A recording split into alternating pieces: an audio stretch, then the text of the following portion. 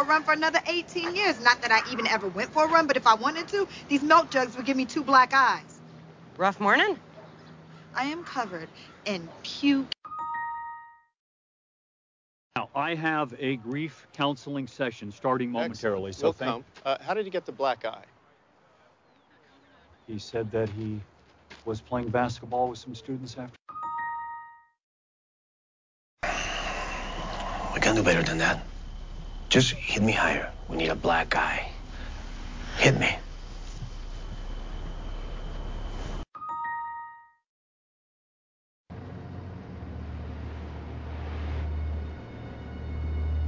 Hello, son. I'm your father. And that strong lady with the black eye is your mother. Your name is Stephen Franklin Thompson. In their underwear. Or not?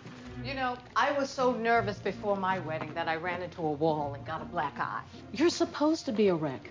You're about to experience one. Turning over state secrets to God knows who, and here we are pretending he's a hero. I know. Stop. Bureau's got one black eye as it is. The last thing we need right now is another espionage scandal. To help you, and received a punch in the face for his trouble. Hence the uh, badly applied makeup covering your black eye. You applied the makeup.